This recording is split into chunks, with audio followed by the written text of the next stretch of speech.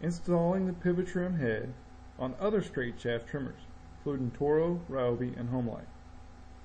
First step is to unscrew the bump knob. Next, remove your old spool and spring.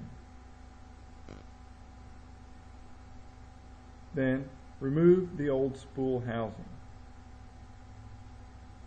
This will expose your shaft extension.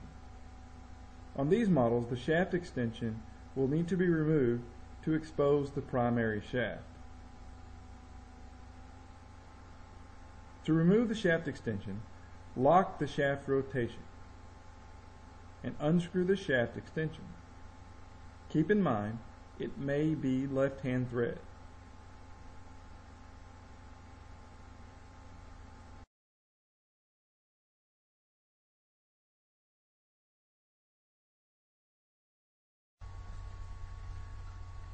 Next, identify which nut will easily thread onto your primary shaft.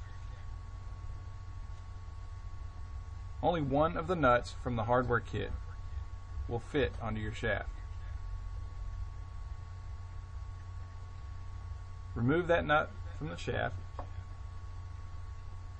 and place it in the back of the PivoTrim head inside the hexagonal cavity.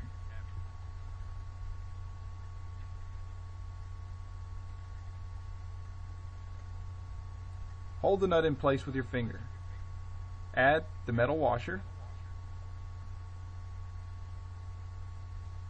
Then turn the PivoTrim head to tighten the entire assembly.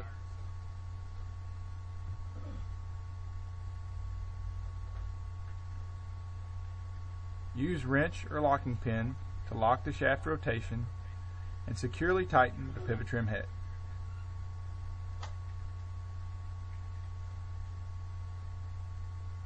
Your installation is now complete.